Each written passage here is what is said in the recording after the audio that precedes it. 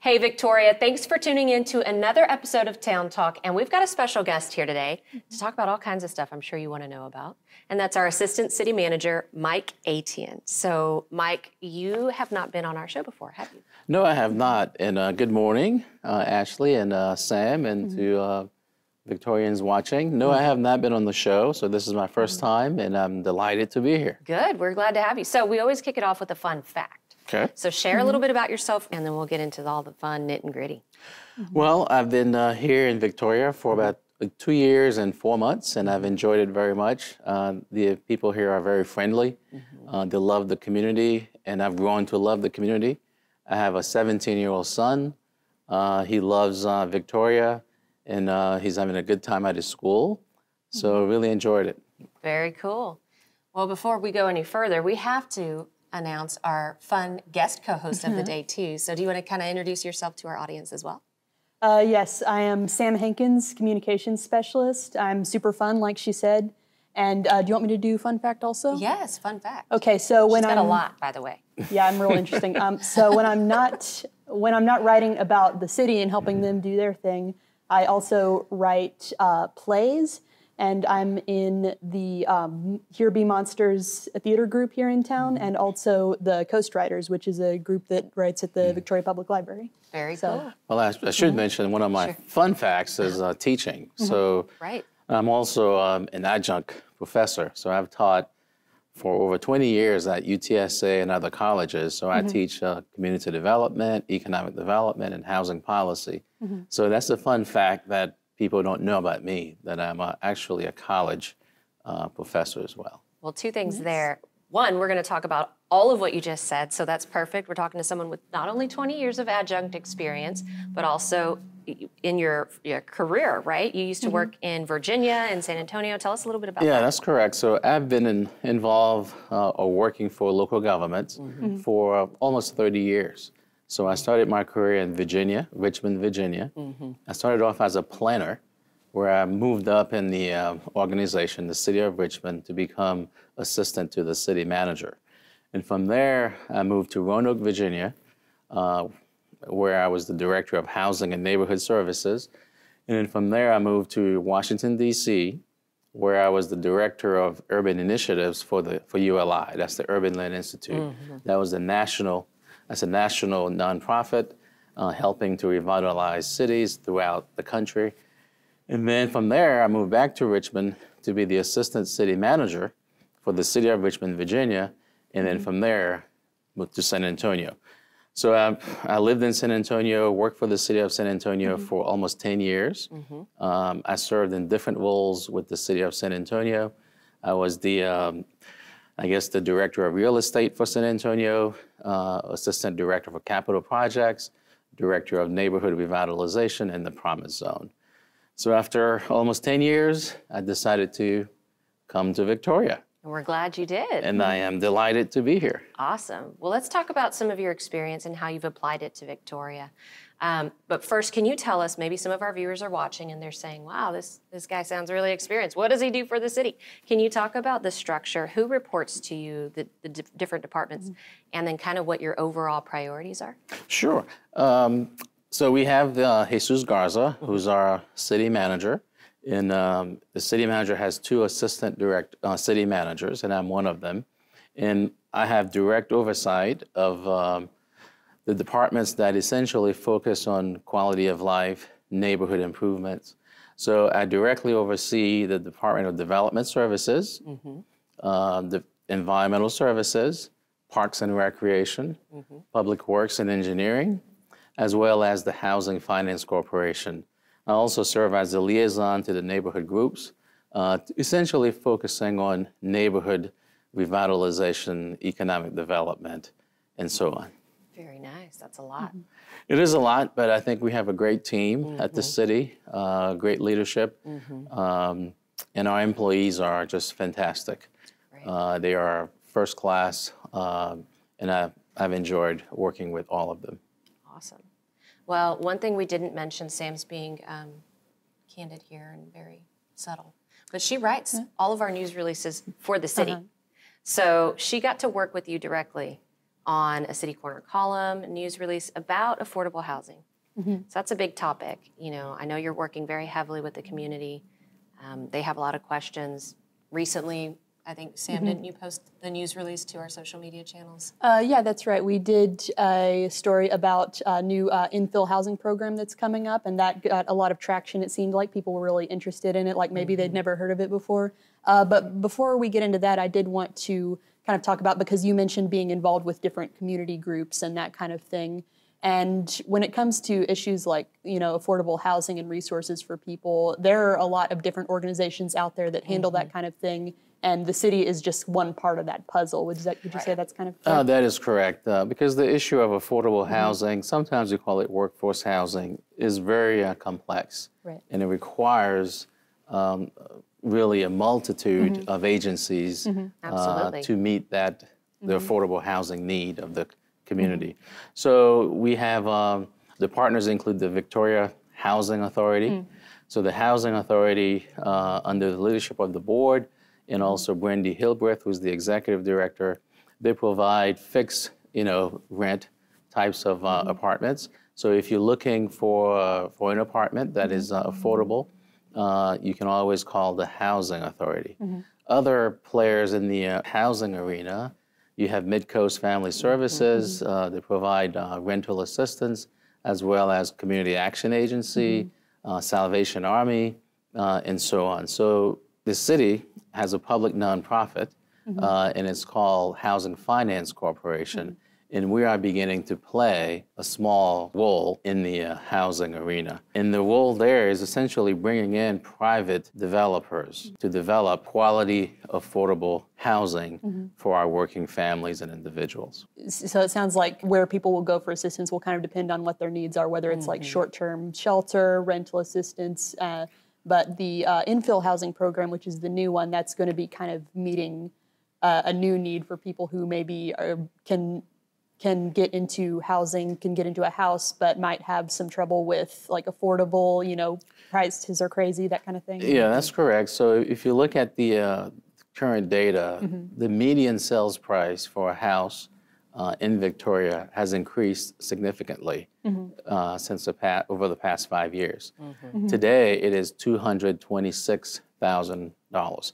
So if you if you want to buy a house in Victoria, the data is telling us that it will cost you about two hundred twenty-six thousand. So that's really um, unaffordable for many individuals. So so yes, you have different groups that provide uh, that tries to provide affordable housing, uh, but technically, the goal is to make sure that no one or the individual does not pay more than thirty percent of his or her income towards housing. So, and that's that's that's the definition of affordable housing. Right. The housing is affordable to you if you do not pay more than thirty percent of your gross income. So yes, so uh, we um, you have different partners that provide the housing. So if you um, looking for shelter, uh, you would or you would go to Salvation Army. Um, if you're looking for the uh, low income housing, that is uh, uh, some individuals don't pay very much in rent. That's the housing authority. Uh, but f- for us, with the infill housing program, we are looking to promote uh, homeownership uh, because what we are looking to do with the infill housing is to really, like you said in your article, Sam, is to kill two birds with one stone. Yeah, right. Essentially, uh, working to acquire vacant lots uh, that are blighted in our community and partner with a private builder to build single-family homes that is affordable uh, to uh, to our residents. So we know in the city uh, we have uh, over 1,000 lots uh, that are just vacant, and some of them have code uh, liens on them or cases. So the and those lots are overgrown with grass, all kinds of uh, issues, um, environmental issues. So the goal is to acquire those uh, vacant lots or receive donations. We have individuals who have those vac- vacant lots, and they owe so much money in liens uh, because of uh, tall, you know, mm-hmm. weeds or Sure. demolition. So they can donate the property to the mm-hmm. Housing Finance Corporation, which is mm-hmm. the housing nonprofit. Um, so they can donate that, and the goal is to uh, work with a private builder to build affordable single-family homes on those lots. So it will be twofold in, th- in that it will one address the homeownership you know issue in terms of mm-hmm. pro- make, providing an homeownership opportunity to our residents. At the same time, help to revitalize Right. our neighborhoods mm-hmm. because the vacant lots are not contributing Right. uh, mm-hmm. it- because there are really properties that are sitting there vacant, not generating you know, property tax. Right. And the city is spending over $100,000 a year Wow. To maintain those properties. Mm-hmm. Mm-hmm. So the goal there is to get those properties back Sure. Mm-hmm. on the ta- on the tax roll, and also provide homeownership Option, opportunities. Right. Yes, For people who are in need. that's correct. That's great. So it sounds like a win-win, really, for everyone involved. It is a win-win, and uh, we've gotten positive feedback uh, from the community regarding the Sure. program. Um, because again, it's revitalizing our neighborhoods uh, and also providing the homeownership opportunity Right. for our working families. Mm-hmm. And again, the city is one piece, like Sam was saying, to the bigger picture puzzle of affordable housing in mm-hmm. Victoria. I mean, this is like not only Victoria, this is statewide, this is a national situation right now, right?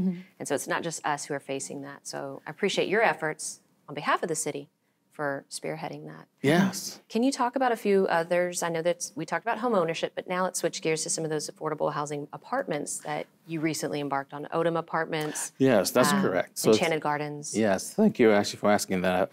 So we are working on uh, the infill housing, as you said.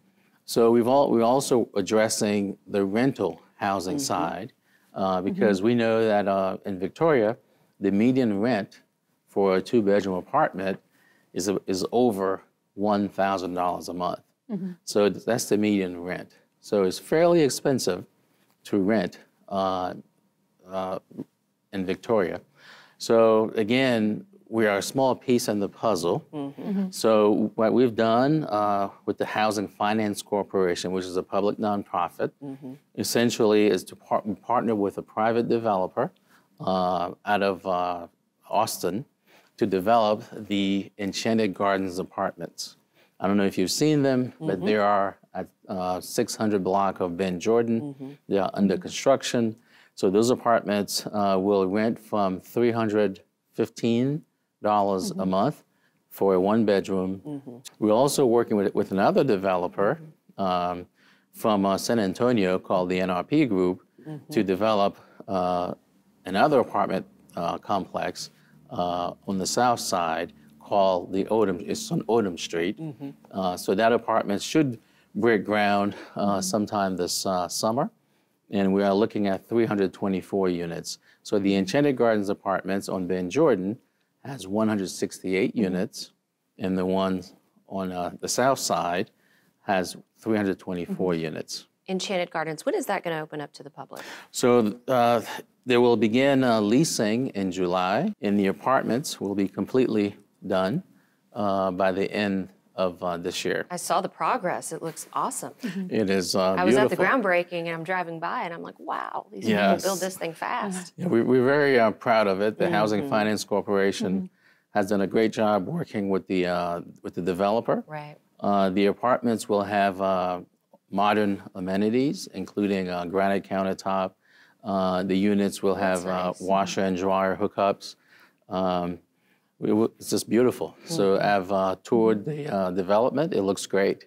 So I can't wait for it to open. Very cool.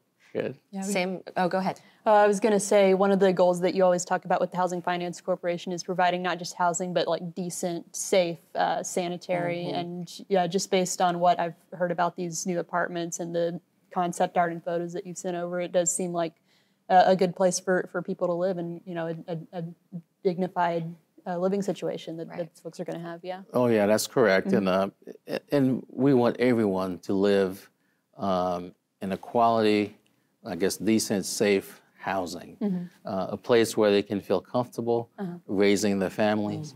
So, and that's the intent. And I think we have that with the Enchanted Gardens apartments. Right. And talking about private developers, um, I believe there are some uh, more projects coming up that are uh, senior housing specific. just going to Can you ask about talk a little more about those. Well, that's good. It's a good, good- very good question.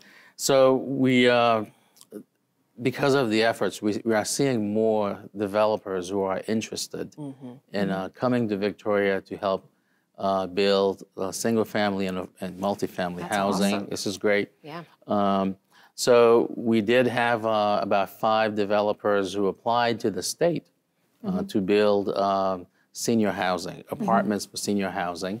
So the city council did approve a resolution uh, of support or resolutions of support for those projects. And they are now going through the state uh, review process. So that's housing for seniors. Uh, that's one of the things that we've heard, um, Ashley and Sam, is that uh, yes, we it's a good thing to provide the affordable housing, but we need to make sure that we address the needs of the seniors. right. So we are working with those developers to hopefully get one of those uh, uh, ha- apartments, uh, one of those deals approved by the state. So uh, we should hear uh, something. I guess uh, we should get news from the state. I would say in July, if one of those uh, developments um, have been approved by the state. So that would bring, again, more affordable housing, especially for seniors, to the city of Victoria, which is a, really a need. Uh, affordable housing for seniors is critical Right, today. Right. Sounds like you're hitting the needs of a lot of different groups within Victoria, not just one. So that's really neat to hear. Yeah, and I love that you're working with private developers on so many of these and using different kind of uh, resources because that shows us that we're being good stewards of our resources as the city. You know, I think sometimes if I post an article and you know we have some people who just read the headline, no shame, we all do it, and uh, they might have the misconception, oh, the city is coming in and building these apartments and building these houses, and that's not really the case. It's a lot of times private money is is That is funding these. correct. The city does not build uh, housing. That's Right. not what we do. So we, we essentially let the private developers do that. That's right. Um, so, um, but we, we facilitate, Mm-hmm. you know, we help. Uh, but in terms of actual building, managing, Mm-hmm. that's not the city's role. It's the private sector's role. Right. doing a- I think you guys are doing a great job at that. So, speaking of public private partnerships, I feel like this is the perfect segue into maybe we can wrap it up with economic development. Sure. Um, you know, I think a lot of people always have the question, why can't we get a Luby's back, right? I know you do, I do. Um, so, questions like that, can you talk about overall, first off, what your role is in economic development, but also maybe even talk to retail coach? I think that might interest a lot of folks. So my role in economic development is uh, essentially to work or partner with our various uh, the various entities like the Victoria Economic Development Corporation, the Sales Tax Corporation, to essentially attract, uh, I guess, businesses and also large employers to Victoria. Uh, so it's really a partnership working with uh, those players to bring in um, those uh, really create more jobs, attract and retain businesses, and so forth. So one of the things that we do is we partner with a retail coach. Uh, so the city, uh, through the sales tax, has a contract uh, with a retail coach to help uh, attract retail, a quality retail to Victoria. Uh, but now, I should say that about 99% of the retailers that come to Victoria, they come on their own. Uh, so because they use, they do their market research, Right. uh, their market analysis uh, to determine if Victoria is a good place for them to have their their What are business. some of the variables that they look at? Well, they look at uh, the most important one is really the traffic counts.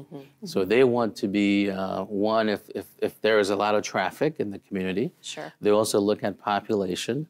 Um, you know, a lot of uh, uh, retailers they will not go in a community unless they have 25,000 people or 50,000. So they look at population. They look at traffic counts. Um, and those are the two main things that they look at is the population, traffic counts, and they have other variables that they look at. But they, most of them have uh, software that they use to come up with the uh, with the uh, to make to make their decisions. Sure. So I would say about 90, 99% of the retailers that come to Victoria, they come uh, on their own. Now we do, uh, from time to time, incentivize uh, a retailer, especially if that retailer will bring quality jobs, uh, also will be a, a quality uh, establishment. So from time to time we do that, but for the most part, most retailers come based on their analysis Sure. and so forth. So we would love to um, have a Luby's. So we are Or I hear Cracker, Cracker Barrel. So we so we uh, actually uh, we talk to the retail coach quite often uh, about Cracker Barrel, Luby's, Yeah. and we are and I'm working on that. So That's awesome. uh, so I'm hopeful that we will um, hopefully get a Luby's. Hopefully is the word, the key word, because at the end of the day, it is a, what did we say, a free market? Yeah, the It's free a market. free so they yeah. make their decision. They make their decision based we on can't data. make it for them. Exactly. If They- we they- would, then yeah, we would definitely. If we could Yeah. make that decision, we would have a Cracker Barrel today. Yes, we would. Uh, but, I- but I should say that Victoria is on the radar Yeah, that's of, good. of uh, many uh, restaurants Right. and so forth. So So there are some proactive efforts there. uh, very much so, very much so. We want to bring in quality Mm-hmm. retail restaurants uh, to Victoria. And um, And, and you and I have talked a lot about the city's relationship with the retail coach when we've done stories about new businesses coming to town and that kind of thing. So it, it sounds to me like we are doing a lot to really market ourselves to the wider world. But as far as like who's buying what we're selling, that's up to them. it's up to them. Mm-hmm. Um, all we can do is uh, market Victoria. You know, talk about the uh, quality of life Mm-hmm. of the city. That's right. And that's one of the things that we've been working on um, diligently Mm-hmm. is improving the quality of life in Victoria. Mm-hmm. So we we've, we are spending a lot more money when it comes to streets, Mm-hmm. uh, parks, right? Um, because have, if you have a great quality of life, that's more attractive Sure. for the uh, retailers, the, the businesses, and Mm-hmm. the companies. Right. And I know we haven't finalized this agreement yet, but with the Home Depot renovation with, you know, the loop that they're trying to push back so that you can exit into what will be a retail Correct. outlet area. Um, give us just a hint of the timing on that.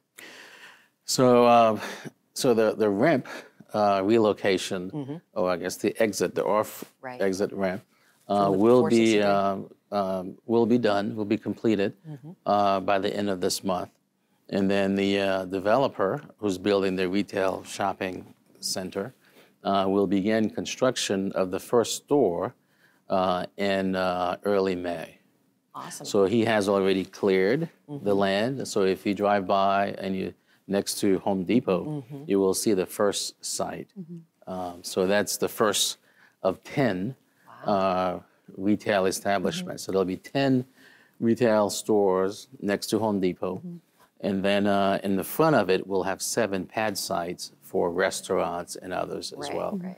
So, so construction on that uh, should begin again. The first store um, will begin um, in uh, probably early May. Awesome. So by the time this episode airs, you might start to see the first store. That's, correct. exciting. Tell us what it is. We may or may not know. Just kidding. We really want to know. Um, but I'm excited for the community to hear the news and just excited about all that you guys are doing. Not just you guys, but all of the other partnering agencies that are in our community, providing resources to Victorians. So, um, with that, can you just wrap us up by quickly talking about? I know we haven't had much time, right? But neighborhood revitalization. You know, that's one big piece of your uh, your wheelhouse. Talking about code enforcement. You know, neighborhood cleanups, Sure. uh, the street, the uh, street and sidewalk improvements, and the LED light project. That's Yes. a lot. So uh, revitalizing, it's, it's a lot, but, but but no, but it's um, but revitalizing the, our older neighborhoods is one of our top priorities. Uh, because again, we've always said that we want all of uh, the neighborhoods in Victoria to be uh, to prosper, to do well. So we are focusing on revitalizing uh, neighborhoods on the south side, uh, parts of the north side, uh, the Queen City neighborhood, and others. A little bit So- of every area. What's that? A little bit of little, every little bit area. of every area. So not just the uh, south side, Right. but everywhere, because we want the entire city to thrive. So that's the goal. So revitalization essentially includes um, building housing, improving the streets, uh, improving the overall quality of life of the residents. So, um, and it starts with uh, housing because it primarily, revitalization focuses on three things. Is housing, the people, and the neighborhood. So, so we are focusing on revitalizing uh, our neighborhoods. Uh, we do the, we start with the housing. We talk about the infill housing. We also talk about public safety. So we are, so that's why we are working to improve the lighting Right. in our cit throughout our city. So we are partnering with AEP to change uh, or replace the uh, high pressure sodium lights to LED lights because the high pressure sodium lights they are kind of the yellowish and they don't emit as much lighting. Right. So so changing them to a LED will give us uh, better lighting, more directed lighting. Right. And of course, it, LED has less light pollution uh, because it's directed downward, Right. and it's uh, it's much safer. It improves walkability, uh, improves safety in the community, and so forth. Right. Uh, the other part of the revitalization is the the neighborhood cleanups and code enforcement, like you mentioned.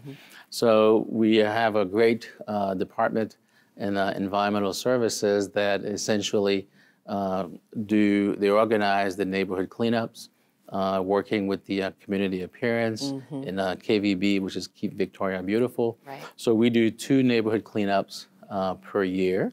Uh, the last one we did was in Silver City. and I heard was- there was like over 200 people yeah, so from the community, not Yes. just city staff, that's that's who showed up to help. and that's part of the revitalization is uh, to include the residents from the neighborhood. So it's not just city staff, but it's people who live in the neighborhood and also the larger community. Because again, it takes a, a village uh, to revitalize neighborhoods. So we need everyone involved. So we do the cleanups uh, twice a year. Um, so, um, and that's part of the revitalization. And of course, the street improvements. So we are spending a lot more, um, uh, I guess, money on uh, street improvements because we know street, uh, improving our streets is a top priority for our community. So, so last year we spent about 29 million dollars on streets improvements, and next year we are looking at spending even more Right. on streets. So revitalizing our neighborhoods that includes housing, lighting, uh, code enforcement, and of course our streets. Right. And also help helping working with the uh, Workforce Solutions Alamo, I mean uh, Workforce Solutions Golden Crescent, Right. working with them to uh, make sure that people, the residents, have access to jobs right. uh, as well. So it's really an inclusive process uh, to um, improve quality of life in our neighborhoods. Right.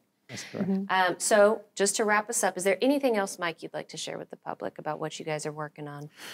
Well, um, I would like to uh, really thank you Sure. uh, for the great work that you do, and also uh, thank the uh, the public, uh, the, the citizens of Victoria, for their continued support. Um, we are working diligently to improve quality of life, um, to make Victoria uh, a destination city, and um, and we sincerely appreciate everyone's support, and that um, and always call us if you have any questions, um, and we'd be glad to talk to them. Speaking of, what is that number? Well, uh, they can call us at uh, 485 3030. And that is the city manager's office, in case you're wondering. Just ask for Mike Etienne, and he'll hook you up. That's right. That's right. And if you want to reach any of us in communications, you can contact us at 485 3110. Visit our website at mm-hmm. victoriatx.gov forward slash news for all of the cool, mm-hmm. fun breaking news that me and Sam work on together. Right. And, um, you know, just continue to watch these town talks as well. Visit our YouTube mm-hmm. channel, our local cable channels, TV 15, which is on channels 15 and 115, and all our other communication methods. I mean, there's so many ways to get subscribed, like our City View newsletter It comes out weekly check out our social media channels. Those are fun too. So, uh, Mike, I just want to thank you again for your time. I know you're a busy man, so we're going to let you head out. And then I want to thank you guys for watching. Thank you, Sam, for being awesome and very fun. That's true, co host. And we'll check you next time. Have a great day.